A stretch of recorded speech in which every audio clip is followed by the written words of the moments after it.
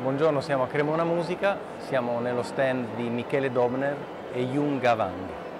È un piacere eh, essere di nuovo qui alla fiera dopo un po' di anni diciamo, che avevo disertato l'appuntamento. Io sono un liutaio che è qua a Cremona ormai da più di vent'anni e ho deciso quest'anno di condividere lo stand con il mio collega Jung Gavang che appunto è stato il vincitore della scorsa edizione della, della Triennale col violoncello per cui abbiamo esposto due violoncelli, uno, tutti e due di, di nuova diciamo, costruzione, uno lui e uno io.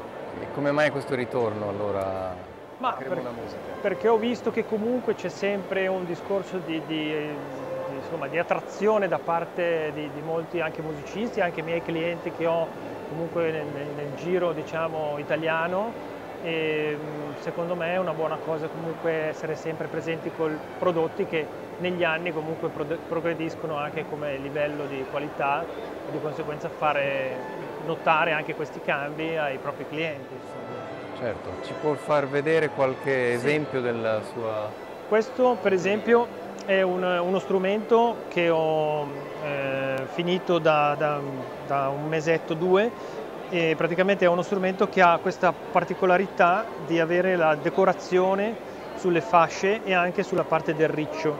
è una decorazione molto classica, eh, fatta ovviamente tutto eh, diciamo, fatto in contemporaneo, però si rifà a un modello di decorazione che era stato fatto da Stradivari ai tempi quando lui ha costruito il quintetto spagnolo, che adesso è diventato un quartetto, ma che si trova a Madrid. L'unico esempio di questa decorazione si trova al, um, al Palazzo Reale di Palazzo Madrid, Reale Madrid. e c'è questo strumento di Stradivari che è l'unico rimasto con questa decorazione. Eh, non c'è la parte di decorazione del doppio filetto perché è un lavoro veramente molto eh, complicato, anche se sarebbe interessante magari in futuro farlo, però per ora è stato decorato in questa posizione, diciamo, per cui fasce e la parte del riccio è stato decorato sia al fianco del riccio che la parte del, del dorso che poi ovviamente continua sulla parte anteriore. Ecco, questa è un po' la lavorazione eh, di, di, questo strumento, questa è la particolarità ecco, di questo pezzo. Ovviamente no, non è una cosa che si fa su tutti gli strumenti che uno costruisce, però magari si fa per un particolare cliente che lo richiede. Che lo richiede sì. esatto. Che cos'è Cremona Musica?